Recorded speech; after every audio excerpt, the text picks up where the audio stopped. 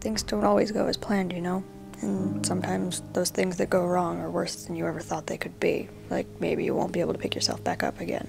You you shut people out and you don't have the energy for anything, even those things that you love most. Often you just feel empty. It's not that agonized sobbing you see on TV, more like sitting in a dark room and trying to shrink out of existence. But then Usually, against your wishes, something happens that starts to turn things around. A splash of color invades that grayscale world you've confined yourself to and demands your attention, dragging out a hint of a smile. And then it starts to bleed out, saturating your surroundings. You have a little more energy, maybe you pick up that book that's been sitting for weeks. You let your friends back in, you smile more often. The colors get brighter and brighter until that world is a huge expanse of dappled color that it used to be.